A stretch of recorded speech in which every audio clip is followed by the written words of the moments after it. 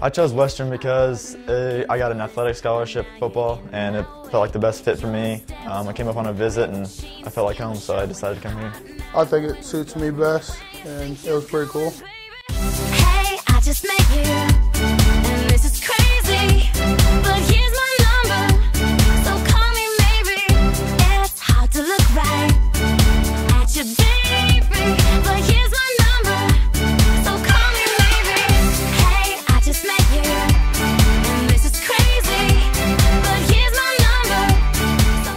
a nice coaching staff. Um, when I came here on my visit, they showed me a very good time. They offered my major, which is athletic training, so I plan to study, and the coaching staff. Uh, Coach Ware, our offensive coordinator, he was uh, really into it, really got down and recruited me. You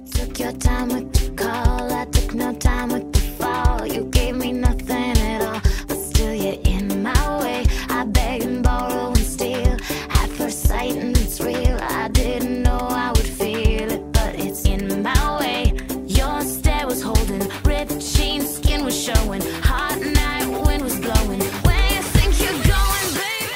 I'm most excited for football and uh, hanging out with my teammates and uh, playing, just practicing and playing with them and hanging out.